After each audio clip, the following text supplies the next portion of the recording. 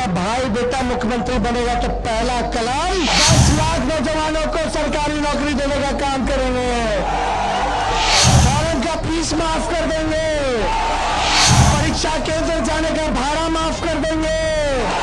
नमस्कार, आप देख रहे हैं नेशन न्यूज़। मैं हूँ अभय प्रियदर्शी बिहार।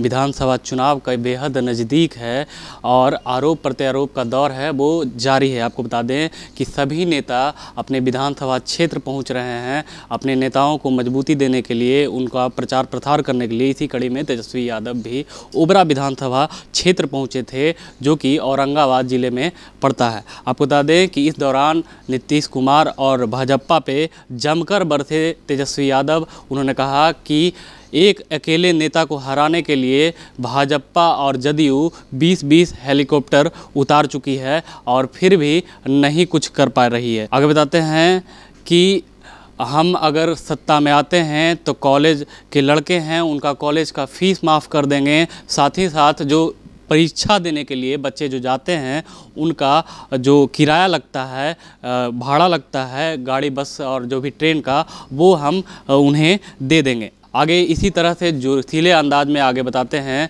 कि जो समान वेतन, समान काम जो है, उसको हम लागू करेंगे। हर किसी को समान वेतन मिलेगा, समान काम के बदले। इस जोशीले भाषण को आप भी जरा सुनिए। मंच पे जितने लेफ़्ट पार्टी के, आरजेडी के कांग्रेस पार्टी के नेता, पदाधिकारी, कार्यकर्ता, नेता, सब लोगों से हाथ जोड़ करके माफ़ी। आप लोग सहयोग कीजिए। अकेले मेरा हेलीकॉप्टर है। और मोदी जी और नीतीश जी बीच बीच में हेलीकॉप्टर छोड़ ले। अकेले काफ़ी है कि नहीं बता दो भाई? दीजिए देखिए, हम यहाँ ज़्यादा पकाने नहीं आए ना थकाने आए ना पकाऊ भाषण देंगे ना थकाऊ भाषण देंगे हम यहाँ ओबरा की जनता से फरियाने आए।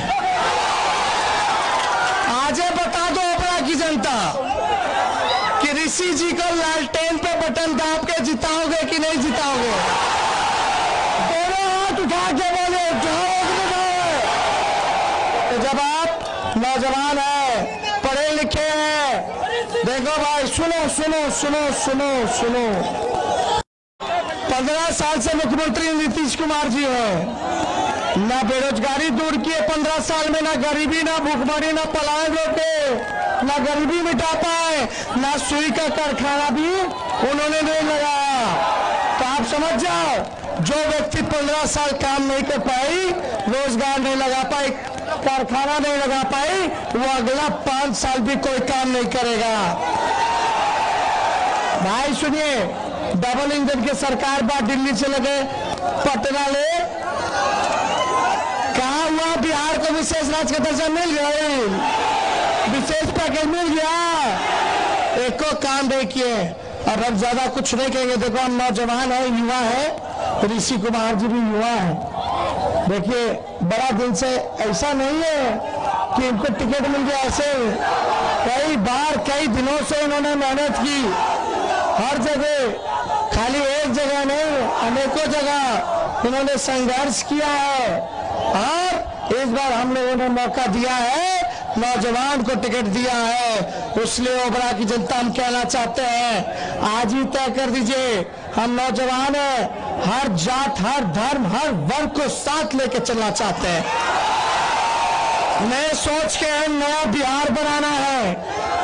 मुद्दे की बात होनी चाहिए। किसान गरीब मजदूर की बात होनी चाहिए। किसान मजदूर गरीब की बात होनी चाहिए।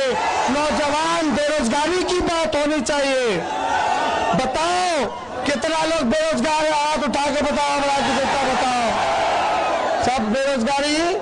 तो ज़्यादा कुछ नहीं कहेंगे। लेकिन हमको एक मौका दीजिएगा कि नहीं दीजिएगा? अरे उधर से भी हाथ ऊपर करके बोले, एक मौका मिलेगा कि नहीं मिलेगा? देखो नवरात्र के शुभकामना हम देते नहीं। कलश की स्थापना कर रहा है और संकल्प भी लिए नवरात्रि में। आप एक मौका दीजिएगा तो आपका भाई बेटा मुख्यमंत्री बनेगा तो पहला कलाम, पहला मंत्रिमंडल में अगर चलेगा तो 10 लाख नौजवानों को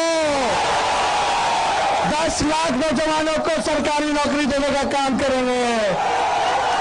फॉरन का फ़ीस माफ़ कर देंगे। परीक्षा केंद्र जाने का भाड़ा माफ़ कर देंगे। आंगनबाड़ी जीविका दीदी विकास वेद आशा वर्कर, जितना वितरण शिक्षक लोग, सब लोग कर्मचारी लोग, जितना स्वयं सहायता समूह है, जितना स्वयं सहायता समूह है, सबको नियमित करने का काम करेंगे। और मानदेय चार हज़ार रुपया करेंगे। और देखा बाबा टुकुर टुकुर दाखता रह जाए। विधा पेंशन मिला था बाबा। विधा पेंशन मिला था। नहीं मिल रहा। आपका बेटा अगर बनेगा, बिहार का मुख्यमंत्री तो समय पे दिलाएगा और चार सौ से एक हज़ार विधा पेंशन हम करने का काम करेंगे।